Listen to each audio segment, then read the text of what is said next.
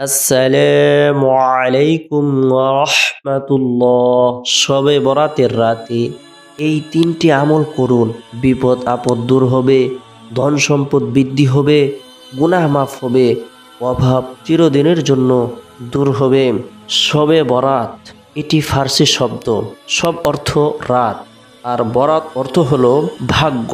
পনেরোই শাহবানের পণ্যময় রজনী, যাকে আরবিতে লাইলাতুল বরাত ফার্সিতে শবে বরাত আর হাদিসের ভাষায় লাইলাতুল নিসফিমিন শাহবান বলা হয়েছে। লাইলাতুল অর্থ রাত আর সব ফার্সি শব্দ এর অর্থ রাত। আর বরাত শব্দের অর্থ মুক্তি, নিষ্কৃতি। এক কথায় শবে বরাত মানে মুক্তির রজনী। অর্থাৎ এটা এমন একটা রাত যে রাতে আমরা যদি ইবাদত বন্দিগি তবা ইস্তিগফার করে, আল্লাহর দরবারে রুরাজারি করতে পারি তাহলে আশা করা যায় যে আল্লাহ তাআলা আমাদের যাবতীয় গুনাহ মাফ করবেন এবং আমাদেরকে জাহান্নাম থেকে মুক্তি প্রদান করবেন। সময়ের চাকা ঘুরে আবারও মুসলিম মিল্লাতের দ্বার প্রান্তে হাজির হয়েছে পবিত্র শবে বরাত। এই শবে বরাতের মাঝে নিহত রয়েছে মুসলিম উম্মাহের বিশেষ মুক্তি ও কল্যাণের বার্তা। শবে বরাতে রয়েছে বহু তাৎপর্য ফজিলত। শাবান মাসের চোদ্দ তারিখ দিবাগত রাতকে শবে বরাত বলে। সুতরাং শবে বরাত অর্থ, ভাগ্যের রজনী শবে বরাত, ভাগ্যের রজনী দুনিয়ার সমস্ত মুসলমানদের নিকট অতি পরিচিত, গুরুত্বপূর্ণ একটি রাত। এ রাতে বান্দার ভালো মন্দ, রুজি রোজগার, হায়াত, মৌত যাবতীয় বিষয় লিপিবদ্ধ করা হয়। উল্লেখিত কারণেই মানুষের কাছে শবে বরাতের গুরুত্ব অপরিসীম। শবে বরাত আল্লাহ তালার পক্ষ থেকে বিশেষ এক নিয়ামত স্বরূপ আল্লাহ তালার দরবারে আমরা লাখো কোটি শুকুরে আদায় করছি যে তিনি নিজ মেহেরবানিতে আমাদেরকে শবে বরাতের মতো একটি মোবারক রাত দান করে আমাদের জীবনকে ধন্য করেছেন। শবে বরাতের একটি রাত পাওয়া আল্লাহর বিরাট নিয়ামত। আমাদের প্রতি আল্লাহর অসংখ্য অগণিত নিয়ামত রয়েছে যা আমাদের পক্ষে গণনা করা সম্ভব নয়। আল্লাহ তালা এরশাদ করেন ওয়াইন তাউদ্দু নি'মাতাল্লাহি তুহসুহা, তোমরা আল্লাহর নিয়ামত গণনা করলে তার সংখ্যার নির্ণয় করতে পারবে না। সূরা ইব্রাহিম, আয়াত নং চৌত্রিশ।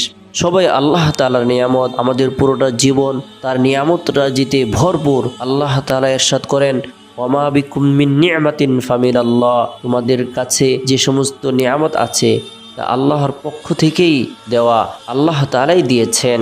তাই নিয়ামতের শুক্রিয়া আদায় করা আল্লাহ তালা কোরআন করিমে এরশাদ করেছেন লা ইন শাকারতুম লা আযীদান্নাকুম ওয়া লা ইন আযাবি লাশাদীদ। যদি তোমরা শুকর করো, তাহলে আমি তোমাদের জন্য নিয়ামত বৃদ্ধি করে দেব।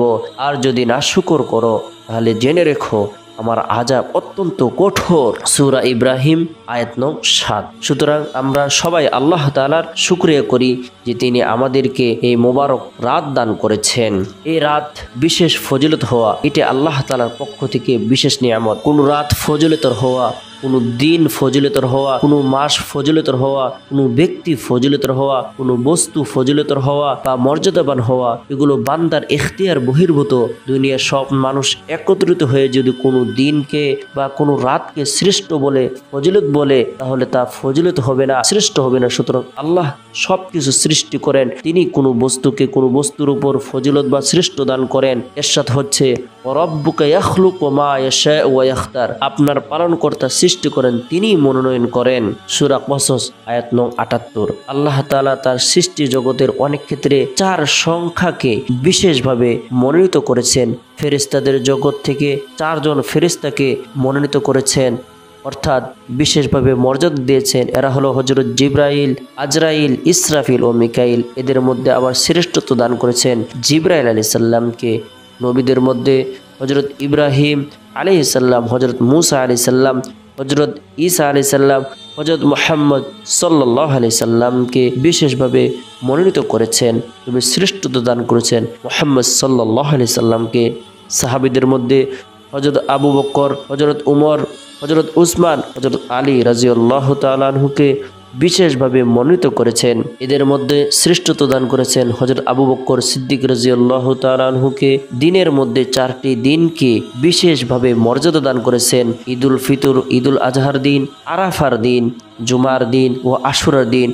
এর মধ্যে আরাফার দিনকে শ্রেষ্ঠত্ব দান করেছেন। এমনিভাবে রাতের মধ্যেও চারটি রাতকে শ্রেষ্ঠত্ব দান করেছেন। ফজলতের রাত হিসেবে মনোনীত করেছেন। এক, সবে ঈদ আইন, সবে জুমা সবে বরাত সবে কদর সুবহান আল্লাহ এর মধ্যে থেকে সবে কদরকে শ্রেষ্ঠত্ব দান করেছেন। সবে বরাত আল্লাহ তালার পক্ষ থেকে এক নিয়ামত স্বরূপ আমাদেরকে প্রদান করা হয়েছে। এই সবে বরাতের মধ্যে আল্লাহ তাআলা আমাদের জন্য বিশেষ নিয়ামত প্রদান করে থাকেন। হাদিস শরীফ আল্লাহ রসুল সাল্লাহ আলি সাল্লাম বলেছেন, তুবা লিমান ইয়ামালু ফি লাইলাতি নিসফি মিন শাবান। সেই ব্যক্তির জন্য চরম সৌভাগ্য এবং খুশির কথা যে শাবান মাসের পনেরো তারিখ রাতে এবাদতে লিপ্ত থাকে সুবাহান আল্লাহ আবু বকর সিদ্দিক রাজি আল্লাহ বলেন, নবী সাল্লাহ আলি সাল্লাম এরশাদ করেছেন, হে মোমিনগণ, তোমরা শাবান মাসের পনেরো তারিখ রাত জেগে এবাদত বন্দিগি করো, কেননা ওই রাতটি অতিশয় বরকতময় এবং ফজিলতপূর্ণ। এ রাতে মহান আল্লাহ বলে থাকেন, হে বান্দাগণ, তোমাদের মধ্যে ক্ষমা প্রার্থনাকারী কেউ আছে কি? আমি তাকে ক্ষমা করব সুবহান আল্লাহ আল্লাহ তালা নিজেই ঘোষণা করতে থাকেন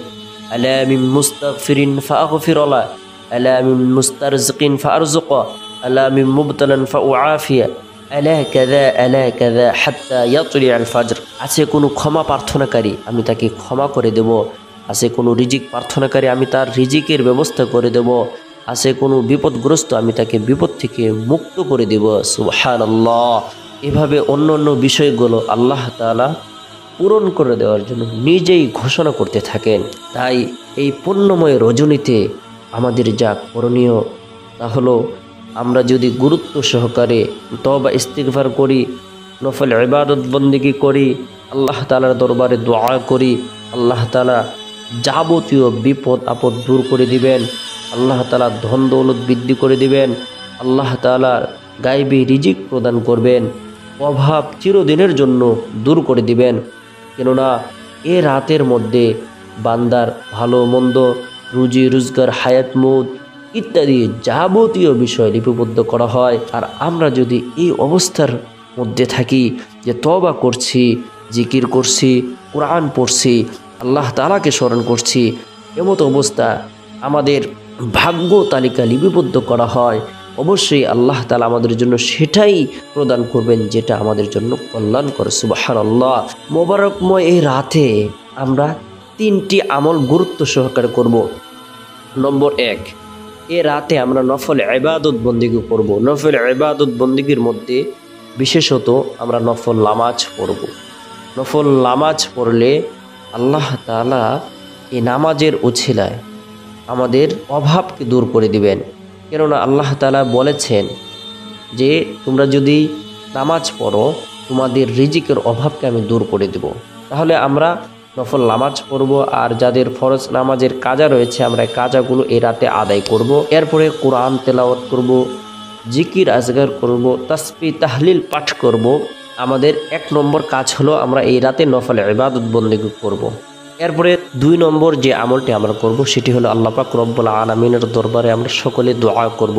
দোয়ার মাধ্যমে অনেক কঠিন ও জটিল কাজও একেবারেই সহজ হয়ে যায়।